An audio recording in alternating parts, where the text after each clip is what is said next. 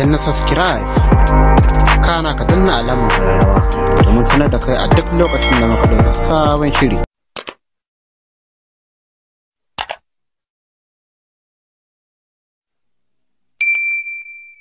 Don samun sabon littattafanmu don na subscribe sannan ka danna alamar kararrawa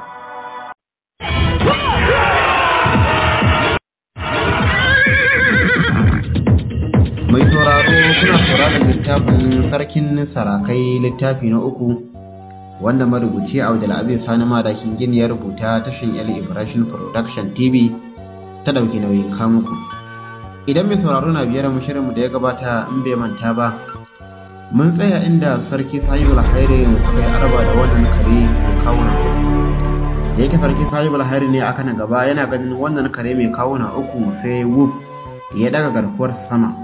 Sannan ya daga gatarin sirri da yake hannunsa nan take karen ya feso wa sarki sahibul hairi wuta da kansa na farko. Shirinmu da ya gabata nan muka dakata cikin yardar allah za mu dora cikin zafin nama ya kare wutar da garkuwarsa.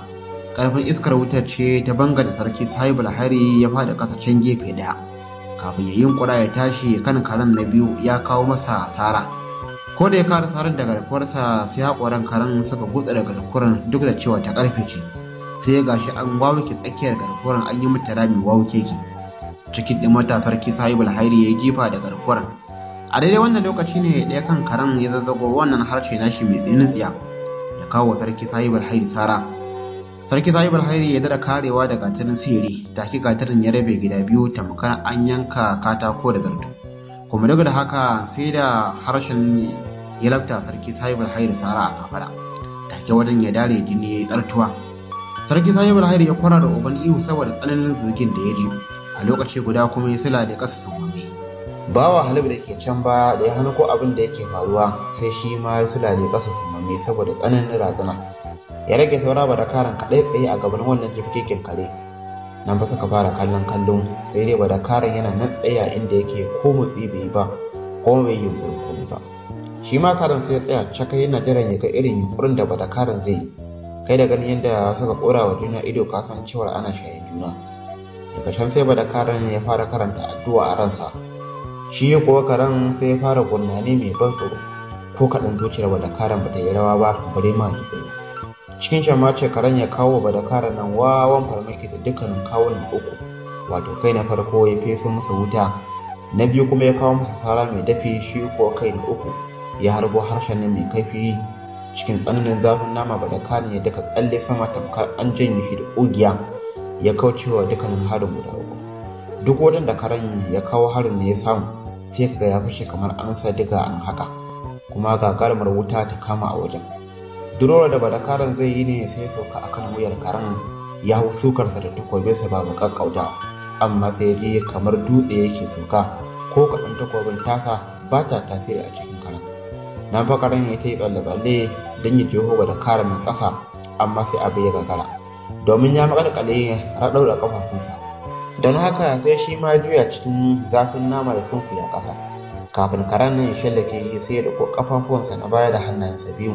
Take ringa jika karen a sama cikin iska kai kace mage yake wulwula. Dokuwar ce girman karen ya kai na giwa. Tabbas saraukantaka baiwa ce ba girman ciki ba. Idan mutum ya dubi girman karen ya dubi kankantar da karen sai ya rantsa da cewar idan karen ya danne shi ko shurawan kirki ba zai yi ba zai zama bawa. Amma sai gashi ba da karen yana hajijiya da karen a sama. Sai da ba da karen ya wulwula karen nan sau arba'in sannan ya damfara shi akan dirkar gini. Take kawunan karen nan duka ukun suka ta gargaje jini ya kama malala yana gudu tamkar an buɗe ruwan famfo. A sannan ne wada karen ya koma da baya a guje zuwa inda ya baro sarki sahib alhairi a sume da zuwa sai ya sake sarki sahib alhairi a kwance yana nan farfashi sama sama kuma har yanzu jini na zuba a kafadarsa cikin hanzari wada karen ya ɗaure masa kafadarsa ta mau da wani mayafi sannan ya karkaɗa jakarsa ta ruwa ya yayyafa wa sarki sahib alhairi ruwa. Take sarki sahib alhairi ya farfado ko da ya buɗe idanunsa ya gaba da kara tsaye a kansa kuma a raye sai ya cika da tsananin mamaki ce ina wannan shirgegen karen yake? Maimakon ba da karin ya buɗi baki ya ba shi amsan wannan tambaya sai ta sarki sahib alhairi tsaye ya ja shi suka tafi zuwa inda gawar karen take.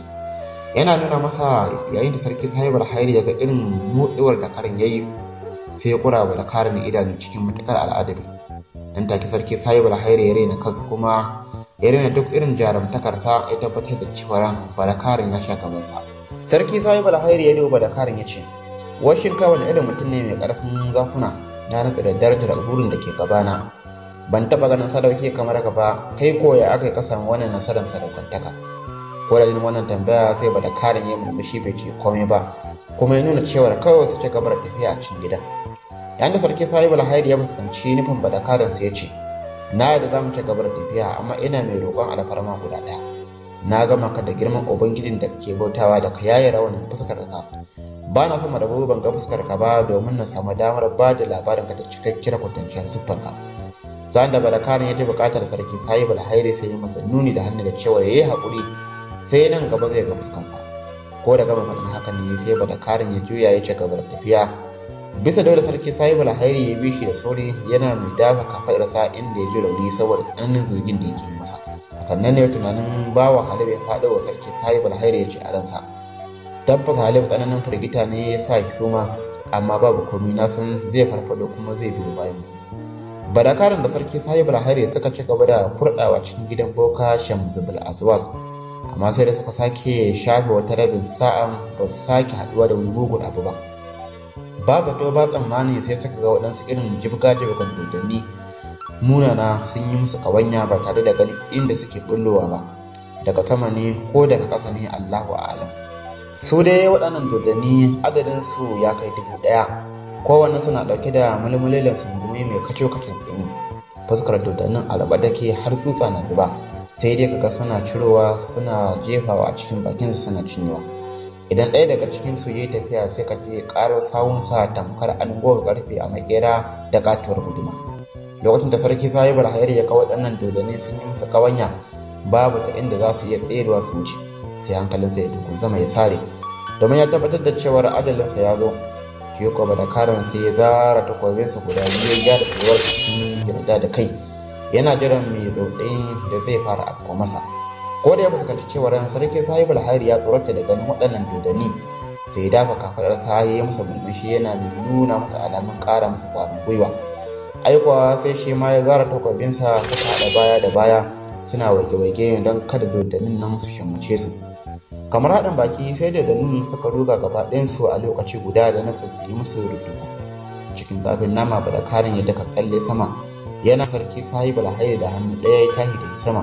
Sai ya gasu a saman dodannin su ko dodannin sai suka haɗa kawunan su wuri guda. Sautin haɗuwar kawunan dodannin ne kamar ana rugurguza duwatsu. Ko da saboda karin nan suka waɗo kan dodannin sai suka hausa da sada da suka.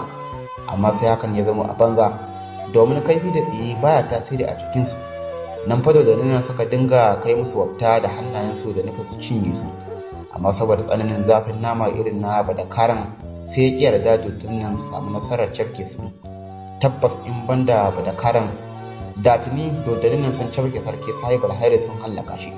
Domin zafin naman su ya fi nashi na badakaran kuma ya fi nasu. Ko da aka ɗan jima kaɗan a cikin wannan hali sai hankalin badakaran ya dugunzuma domin ya san cewar idan aka ci gaba da gumurzu a haka ba tare da ya ga lagon dodannin ba komai zai iya faruwa. Wato dodannin za su iya hallaka su shi da sarki sahib alhairi nan take dabara ta faɗo masa a ya ce bari ya jarraba ya gani. Cikin hanzari badakaran ya ta karkare ya nufi ɗaya daga cikin dodannin da dukkanin ƙarfinsa a cikin kunni bisa mamaki sai kawai hannunsa ya ɓirma cikin kunnin na dama ya bullo ta cikin hagu. Take dodannin ya sulale kasa mantacce ko daga nan hakan sai shi ma sarki sahib alhayi da ya jarraba hakan shi ma ya samu nasara. Woho nan fa suka yi ta ɓarma kawunan dodannin nan suna zubar da su ƙasa. A wannan lokacin sarki sahib alhari ya taka muhimmiyar rawa domin ya kashe dodanni sama da guda ɗari shida. Sauran kuma duka ba da karin nan ne kashe su. Bayan sun gama da dodanni ne sai suka ci gaba da tafiya suna haɗuwa da miyagun ajan iri-iri da miyagun dabbobi suna tafafatawa da su. Ba su gushe ba a wannan hali har sai da suka shafa kwana tara. Batun abinci da ruwa ba su samu matsala ba domin guzurinsu bai kare ba. Amma ba sun sha bakar wahala. Shi dai ba da karan sau ɗaya wani aljani ya samu nasarar yankarsa a kafaɗa da farcen hannunsa. Amma shi sarki sahib alhairi sai da ya ƙara samun raunuka bakwai a jikinsa.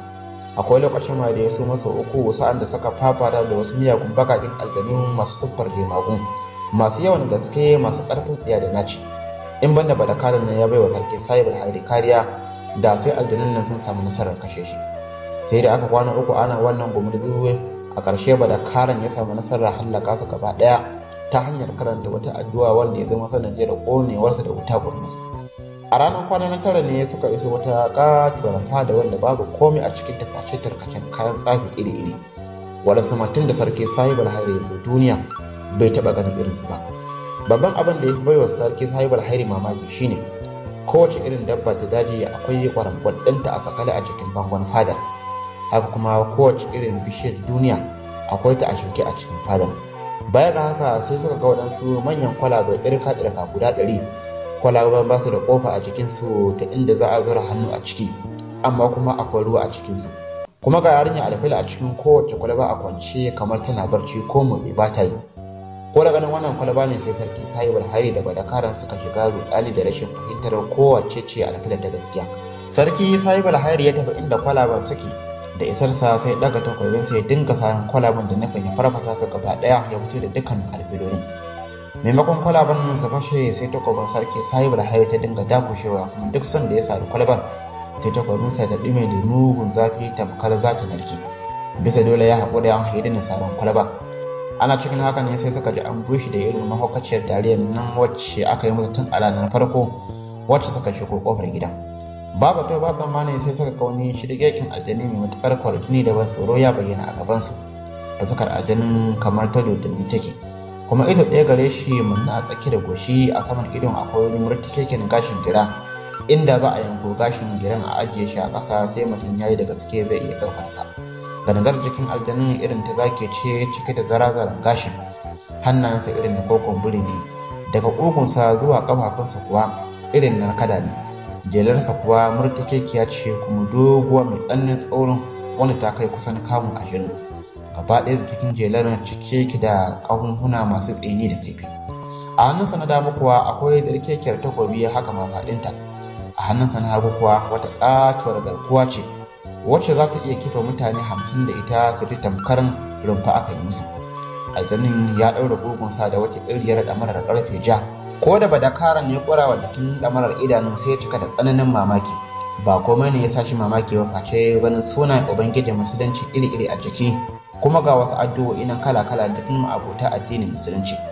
Badakaran ya ce a cikin zuciyarsa wannan fa shine kwaba. Tabbasa wannan aljani kafiri ne kuma mashiriki ma aboki tsafi. To menene gamansa da wannan ɗamara mai ɗauke da ayoyin Allah da sunaye tsarkaka? Kamar aljanin ya san abin da badakar yake ayyanawa a zuciyarsa sai ya dube shi tun tsire da dariya ya ce lalima habin da jinin imam sadiq jinin wannan batu ne sai badakaran ya sha jinin jikinsa ya tabbatar da cewar aljanin ya san ko shi waye.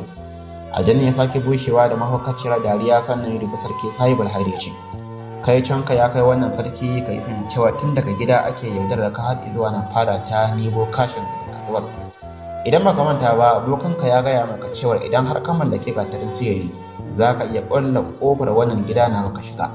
Amma sai ka shiga tarin sihirin bai amfana maka komai ba. Wannan badakaran da ka taho tare da shi a matsayin namiji to ba namiji ba ne mace ce. Kuma ita ce babbar ya ga imam sadiq shugaban ma'abota addinin musulunci na birnin hairin nur. Sunanta jaruman humaira. Idan har abin da na faɗa ba gaskiya ba ne ta yaya rawanin fuskar ta ka gani.